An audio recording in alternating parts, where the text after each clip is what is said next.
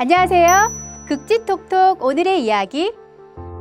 남극의 주인공 펭귄은 왜 뒤뚱뒤뚱 걸을까요? 오늘은 뒤뚱뒤뚱 펭귄의 걸음에 대해 알아보기로 해요. 추운 겨울 꽁꽁언 빙판 위를 걷다 넘어진 경험이 있나요? 얼음과 눈 위에서는 서 있는 것조차 쉽지가 않아요. 그럼 펭귄들은 얼음 위를 넘어지지 않고 어떻게 걸을 수 있을까요? 펭귄 걸음 속에 숨겨진 과학을 찾아보도록 해요. 첫 번째, 무게중심을 잡는 통통한 몸매. 펭귄은 몸에 비해 날개가 짧아 몸통으로 균형을 잡는답니다.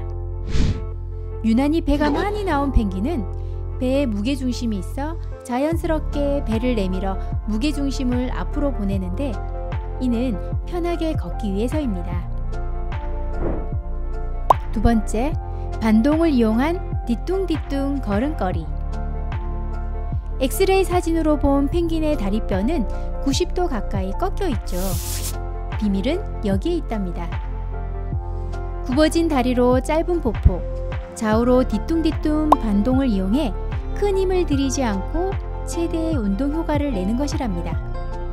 마치 시계추를 한 번만 흔들어주면 작은 태엽의 힘으로 계속 좌우로 흔들리는 원리와 같답니다. 세 번째, 마찰력을 크게 날카로운 발톱. 펭귄의 날카로운 발톱은 얼음에 미끄러지지 않게 하는 마찰력을 증가시킵니다. 눈 덮인 산을 오를 때 미끄럼 방지를 위해 아이젠을 등산화에 부착하듯이 말이죠.